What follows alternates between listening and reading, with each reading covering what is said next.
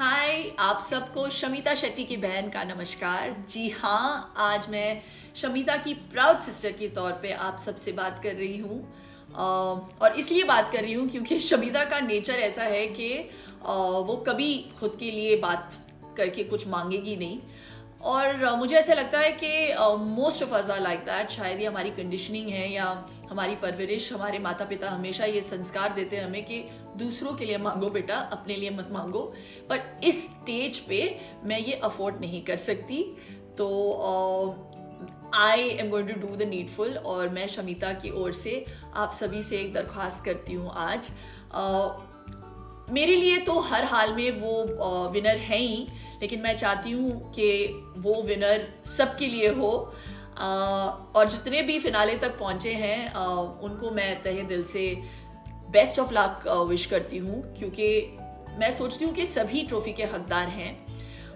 I think बहुत कुछ झेला है सभी सभी ने, और बहुत समय के लिए तो everyone really deserve to win but जो क्वालिटीज मैं ढूंढती हूँ एक विनर में वो सारी क्वालिटीज मेरी बहन में हैं। She is strong she is dignified she has integrity she is big hearted और वो ब्यूटिफुल है not just on the outside but also within and इस सपने को सिर्फ़ आप ही साकार कर सकते हैं। So I really make a request from the bottom of my heart with folded hands कि सभी प्लीज़ वोट करें मेरी बहन के लिए।